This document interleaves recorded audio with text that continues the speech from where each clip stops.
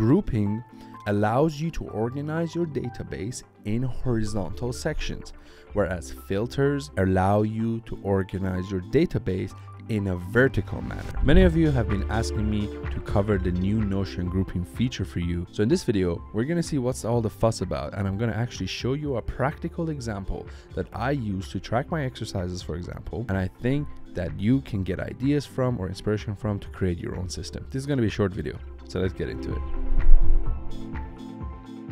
As you see, I have a page here called Gym. So basically I purchased one of Jeff Nippard's programs for bodybuilding and weight loss. And actually, that program is split into eight weeks. It's eight weeks with different body part exercises. And I had to also learn how to get familiar with those exercises and have all the YouTube videos for, for example, how to do those exercises all in one place. And I also wanted to track how much weight I'm using and, for example, the total work done. So, what I did, I actually created a table in Notion with all the different types of bodybuilding exercises. So, as you can see, this is the name of the exercise. So, for example, seated leg curl or hammer curl etc. And then I create a type for it. So the type is like machine, EZ bar, dumbbell, blah, blah, blah. Then in Jeff Nippard's program, for example, we have sets, reps, and RPE. RPE stands for rate of perceiving exertion, which is basically intensity measurement from 1 to 10, 10 being almost to failure, 1 being super easy. And basically, then I added these properties to my table. And for example, now if I'm at the gym and I want to learn how to do single arm pull downs, I can always jump to the video and watch it right there and then. So I can actually jump on and see how he's actually done stuff. But one problem that I had is that I was doing the body part split program, but this table wouldn't show me everything I wanted to see in one glance.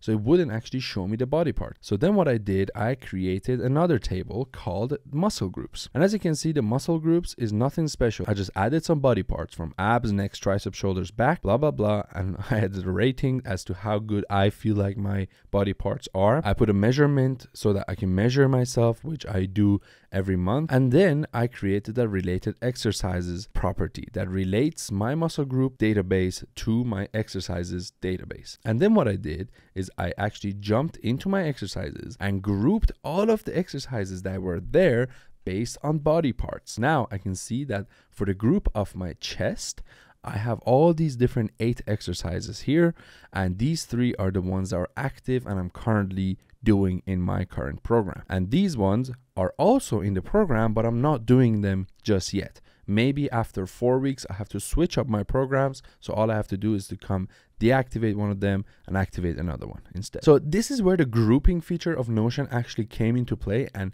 played a huge role for making this super simple for me at the gym. And the way I did that is actually I just jumped under grouping here, group by obviously the related field of muscle group, which is awesome because you can actually group everything by roll up properties or by related databases as well, which is absolutely awesome. It blows my mind that Notion can do this. And by the way, this is one of the reasons I'm not going to replace Notion with another tool because the databases are just so powerful. And all I did, yeah, basically group by muscle group sort by manual because I would like to move them manually up and down based on the order that I would like to do them at the gym. I would hide empty groups. Right now it doesn't matter. And as you can see, these are all the muscle groups that are here. And then the database that actually looked like a list, as you saw here, confusing all over the place. I didn't really understand what was going on. That converted into a database that I could actually understand and go over every section on this specific day. Now, there's one more thing that I wanted to solve, and that was I had eight exercises for the chest, but I wasn't doing eight exercises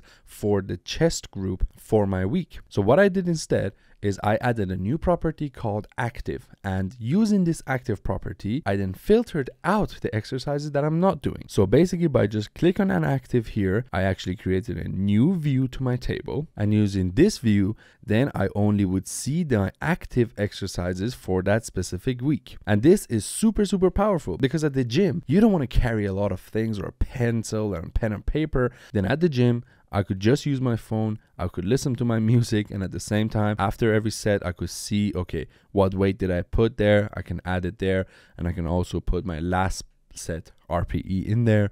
And if I at any point forgot how to do, for example, a dumbbell incline chest press, I could always click on a YouTube video that comes at a part of the Jeff Nippard's course and actually see what's it all about. So why is this even important that I'm showing you is that Before this grouping feature, I couldn't have done this. I should have just filtered everything and sorted them, but I would still see everything, all the exercises that I had to do in my view. And that just created a lot of clutter for me, and I didn't have these swim lanes or grouping. So the way I think about it is that grouping allows you to organize your database in horizontal sections, whereas filters allow you to organize your database in a vertical manner. So, for example, if I filter everything that contains the chest, I would clearly not see any of the other groups, right? So, this vertically removed some stuff.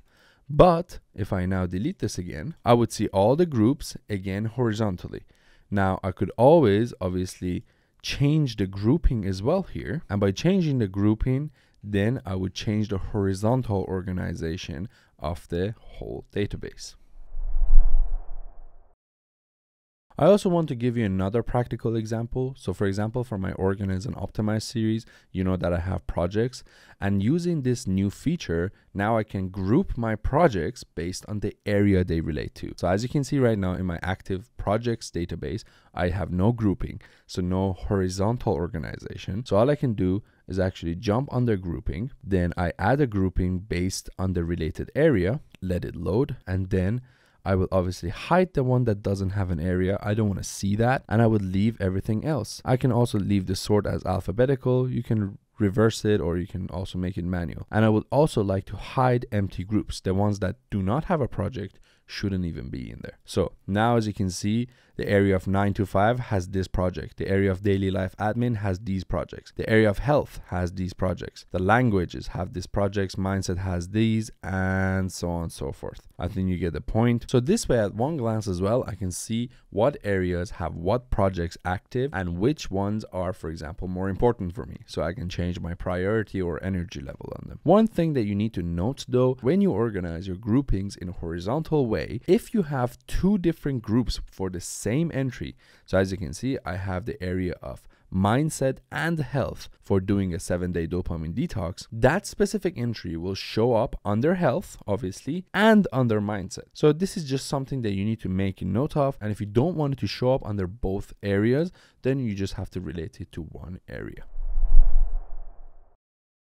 One more thing that you need to note though is that if you use the grouping feature and your database has a lot of information in it, the grouping feature actually might make your whole page loading quite slow.